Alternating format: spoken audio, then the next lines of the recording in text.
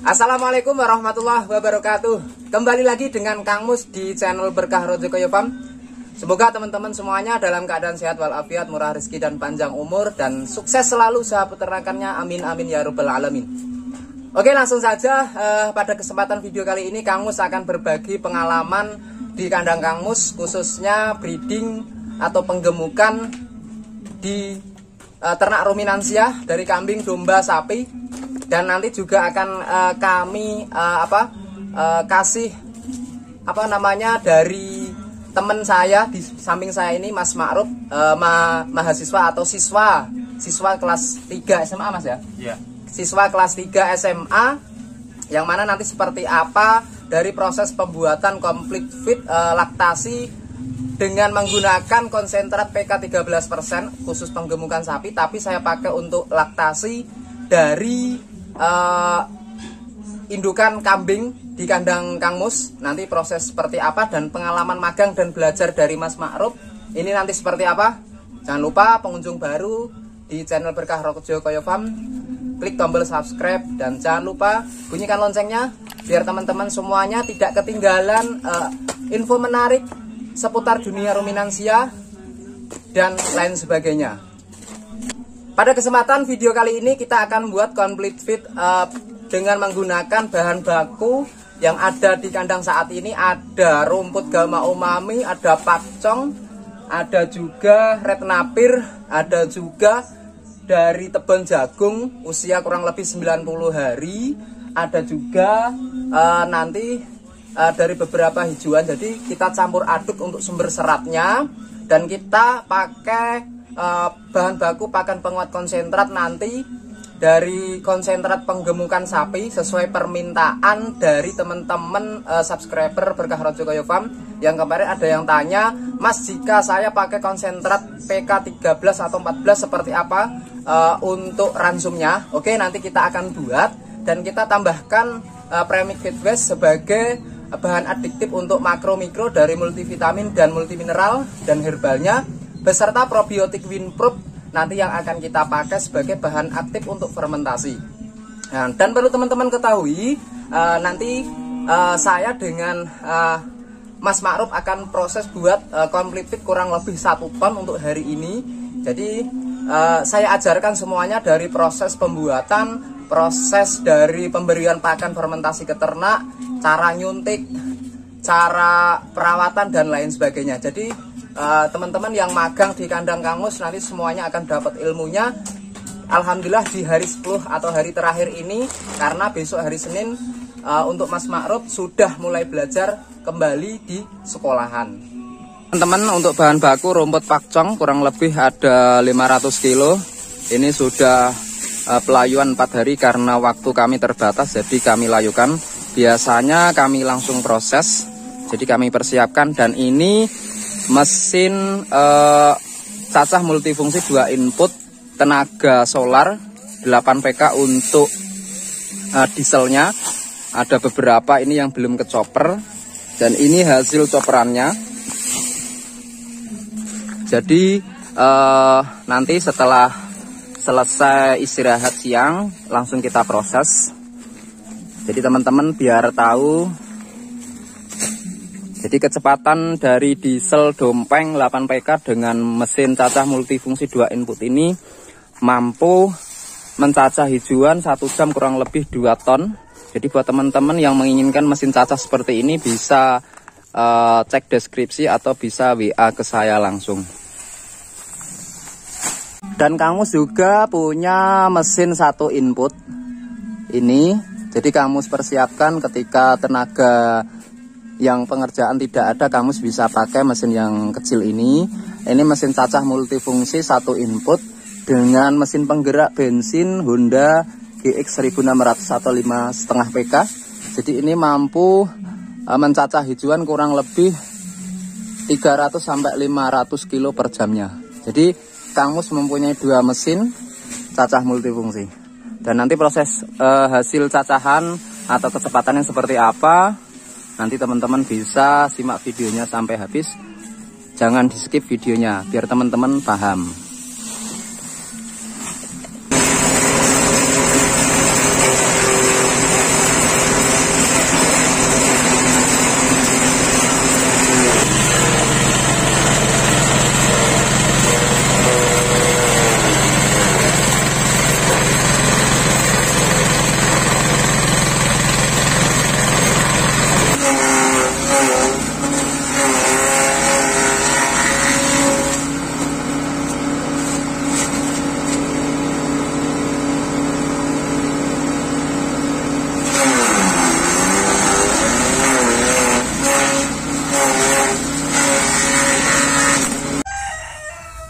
Jadi eh, teman-teman juga harus tahu semua bahan baku dari sumber karbo nanti bisa diratakan secara merata di atas sumber serat atau hijauan yang sudah kita gelar. Jadi untuk hijauan total semuanya ada 60%.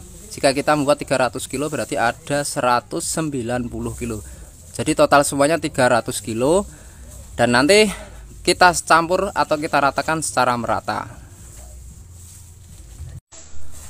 Oke guys, selanjutnya kita uh, tahu dari konsentrat sudah kita ratakan. Yang selanjutnya dari apa sumber uh, probiotik dan premik yang sudah kita campur di ember ini kita ratakan.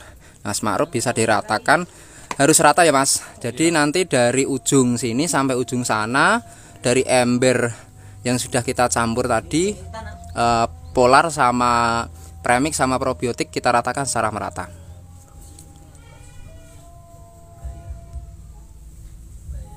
Jadi nanti ketika sudah rata tahap selanjutnya kita tes dulu kita campur sebagian untuk tes kadar airnya. Cukup apa? Belum. Jika nanti kadar air kurang kita siram air terlebih dahulu sampai cukup baru kita ratakan semuanya. Proses pembuatan complete fit e, laktasi pada kali ini dari bahan baku sumber serat 60%, pakan penguat 40%, terdiri dari bekatul 10% atau tambah tadi sama polarnya dan konsentrat 30% dengan tambahan premix feed waste sebagai bahan sumber makro mikro ternak multivitamin dan mineral. Kita tambahkan juga probiotik sebagai media untuk fermentasi untuk bahan adiktif fermentasinya. Setelah itu kita campur atau kita ratakan jadi satu Nah, sebelum kita campur semuanya, usahakan teman-teman dites dulu untuk kadar airnya. Mas Ma'ruf bisa dites untuk kadar airnya seperti apa. Ambil sedikit, digenggam, dikepal sekuat-kuatnya, ambil sedikit aja. Nah, coba dibuka. Nah, posisi dari uh, bahan baku yang sudah tercampur masih pudar. Jadi untuk kadar air masih kurang. Jadi nanti kita tambahkan air dari 300 kilo ini minimal kita kasih 5% saja berarti kita butuh jika pembuatannya 300 kilo kita butuh 15 liter. Jadi sebelum nanti kita proses penyampuran semuanya atau kita aduk jadi kita tambahkan air dulu minimal atau kita maksimalkan dulu di angka 5% nya jadi Mas Ma'ruf disiapkan ambil air sumur eh, 15 liter nanti diratakan di atas semua bahan baku. Setelah pemberian air dari 5% dari total bahan baku kita campur lagi dan kita tester ulang nah, coba Mas Ma'ruf apa ada perbedaan dari sebelum dicampur air sama sesudahnya? Ada. Ada ya Mas ya? Ada.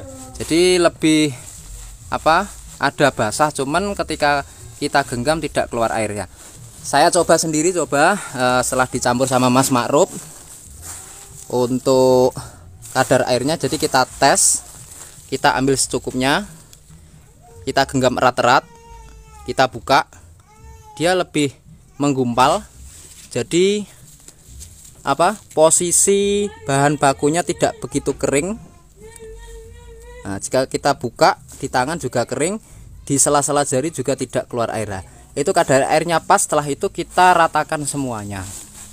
Jadi nanti kita ratakan semua bahan baku dari total bahan baku 300 kilo ini jadi nanti kita siapkan juga untuk tempat penyimpanan.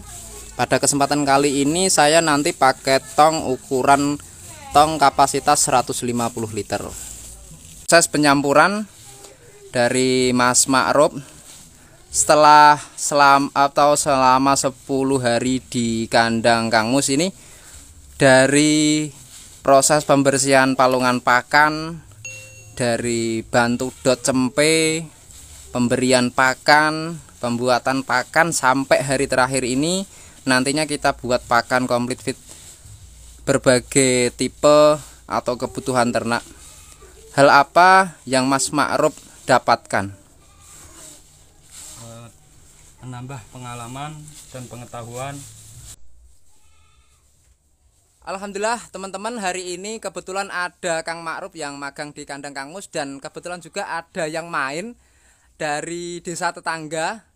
E, mungkin bisa perkenalkan dari nama dan apa saja yang apa Bapak dapatkan selama proses pembuatan pakan di kandang Kang Mus.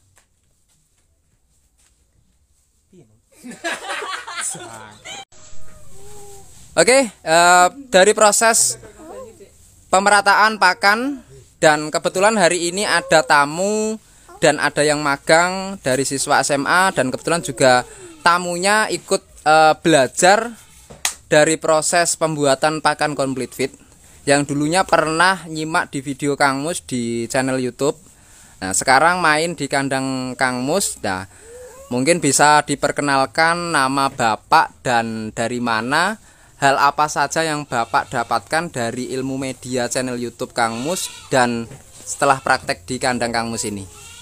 Iya, perkenalkan nama saya biasa disebut Kang Jali banyak orang kenal. Ya. Itu itu sebutan saya berhari-hari. Nah intinya saya kemari. Sebelumnya saya kan sering nonton di channelnya Kang Mus.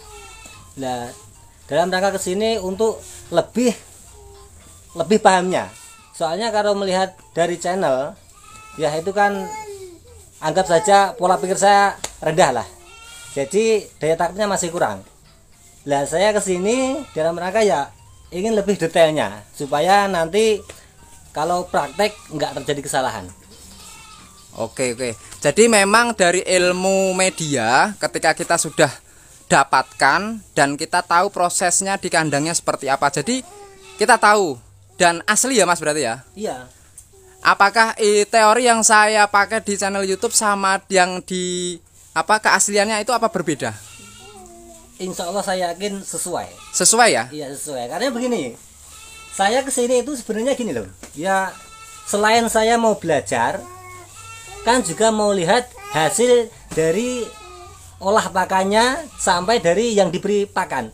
Keternaknya. Iya, katanya seperti itu. Lah, ternyata saya telah saya cek ya hasilnya sesuai dengan apa yang dibicarakan jadi ya intinya saya yakin jadi terus saya jadi kepengen belajar terus ya mau praktek terus harapannya ke teman-teman yang nonton video ini atau yang belum sempat main ke kandang kangus itu seperti apa Pak? Intinya kalau ya jaraknya jauh seperti saya kan dekat jadi bisa main langsung. Kalau belum ya sementara sering nonton saja channelnya. Nanti sedikit-sedikit paham. Kalau kurang jelas ya bisa ditanyakan langsung nanti di komen. Kalau tapi lebih enak sih langsung main. Intinya bisa praktek langsung jadi ketika ada kesalahan-kesalahan bisa langsung benahi oke oke. Terima kasih Pak Jali semoga pengalaman atau ilmu sedikit yang Pak Jali dapatkan bisa bermanfaat dan buat teman-teman yang masih jauh lokasinya dengan Kang Mus nanti kita bisa belajar bareng lewat WA atau lewat video yang Kang Mus berikan di channel YouTube. Nah, itu sedikit gambaran atau pengalaman dari uh, Pak Jali dan hari ini kita proses pembuatan complete fit laktasi bisa untuk kambing, bisa untuk sapi, domba dan lain sebagainya. Jadi setelah nanti selesai proses untuk pemerataan atau pencampuran semua bahan baku jadi nanti nanti langsung kita masukkan dalam tong dan kita simpan selama 4 minggu dan setelah itu hasilnya seperti ini teman-teman bisa lihat untuk hasilnya jadi untuk baunya teman-teman bisa tanyakan langsung sama yang magang namanya Mas Ma'ruf untuk baunya gimana Mas Ma'ruf untuk baunya harum. Baunya harum. Iya. Setelah sekian lama Mas Ma'ruf bantu orang tua ternak dengan pakan hijauan dan magang di kandang Kang Mus ini dari pertama bau pakan dan pemberiannya itu menurut Mas Ma'ruf seperti apa? Mungkin ada perbedaan dari pakan hijauan atau fermentasi? Uh, untuk uh, pakan hijauan lebih boros dari lebih boros lebih boros kalau pakan e, fermentasi itu lebih lebih irit lebih irit ya ya kalau kandang dari baunya gimana eh, dari kandang. Selama pakan hijauan mungkin di kandangnya Mas Ma'ruf yang ternak sapi atau kambing dengan pakan full hijauan setelah eh, Kang Ma'ruf di kandang Kang Mus dengan pakan fermentasi itu apa ada perbedaan? Ada ada perbedaan dari pola makannya itu lebih bersih dari lebih dasih. Lebih Dari- bersih Dari dari hijauan ya? dari fermentasi. Lebih bersih pakan fermentasi. Jadi Iya. sisa pakan di kandang itu lebih sedikit ya. Ya. Jadi itu teman-teman bisa apa? difahami dan seperti ini untuk hasil pakannya. Jadi langsung kita sajikan. Jadi kita skip aja untuk tem- eh, penyimpanannya dan kita hasilnya seperti ini dan kita nanti bisa lanjut proses pemberian pakan ke ke ternak. Kita lanjut setelah kita ambil dari tong hasil pakan komplit fermentasi yang dibuat usia dua bulan setengah karena stok pakan di kandang Kang Mus banyak. Setelah itu kita pemberian pakan langsung ke ternak. Jadi yang magang di sini nanti juga tahu ternak itu makannya seperti apa. Jadi ternak makannya seperti ini.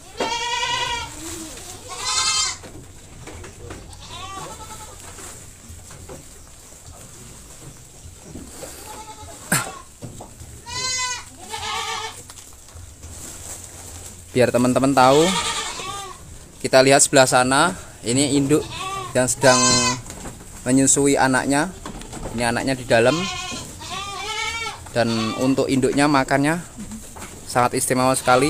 Dan untuk eh, air minum eh, kami sediakan air minum air putih saja di ember dikasih garam. Jadi setiap ternak atau satu ember itu untuk dua ternak ada yang satu ekor saja jadi seperti ini proses pemberian pakan setiap harinya di kandang Kang Mus cukup pagi dan sore saja.